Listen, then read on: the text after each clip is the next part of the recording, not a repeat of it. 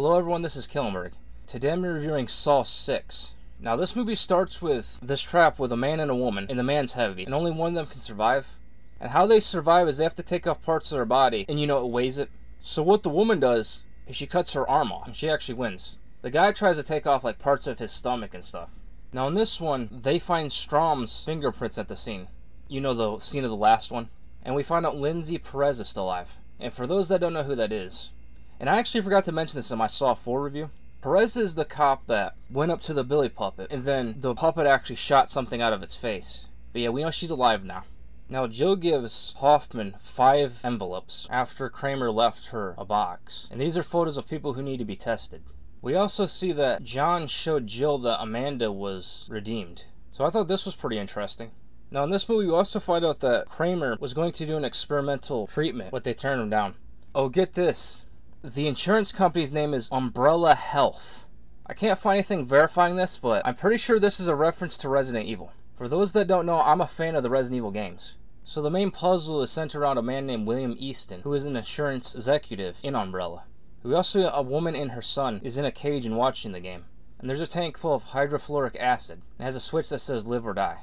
Then a younger woman named Pamela wakes up in another cage. So yeah, we see Easton and a man named Hank who is a heavy smoker and they breathe to see who, you know, who lives. Of course, Easton wins. Oh, Jigsaw says he has William Easton's family, so keep that in mind. Now, his puzzles are pretty interesting. There's another part where he has to grab these two levers. If he lets go, you know, one of them dies. One is a man with no family. Another one is a, an older lady, but she has a family. And the point is, you know, his company would have chosen the man because he's young and healthy. He chooses the lady. So Erickson and Perez, they have the audio tape, you know, of Baxter's trap, and they start to unscramble it. They said there was issues with Strahm's fingerprints, and they acknowledge they know about Strahm's death. They unscramble and we hear that it was Mark Hoffman. So Hoffman kills everyone in the room. Perez tells him that everyone already knows. Then he put fuel all over the room and, you know, lit it on fire to destroy the evidence. Now, Easton actually has to do this one thing where he has to choose, you know, two of the people to live. He can only choose two of them. You know, these are his fellow employees. Oh, there's something else that's interesting. Remember that envelope Amanda had in Saw 3? We find out what that is. We find out that Amanda was there to help Cecil the night Jill had the miscarriage. I thought this was pretty interesting, actually.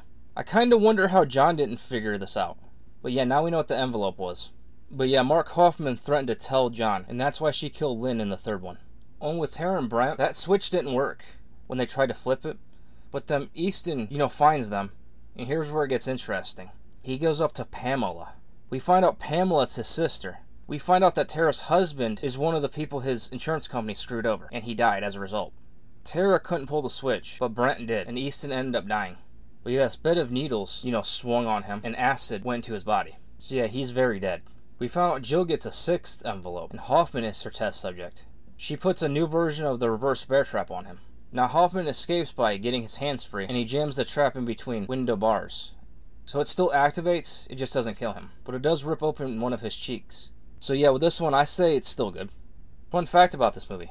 I was actually going to see it in theaters. And I was actually there the day it came out, but I noticed there was no showings of it.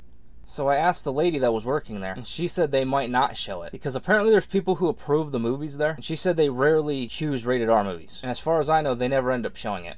And this is a bit misleading too because they had a poster of it up. But it turned out good because I have the director's cut on DVD anyway. So I hope you enjoyed my review of Saw 6.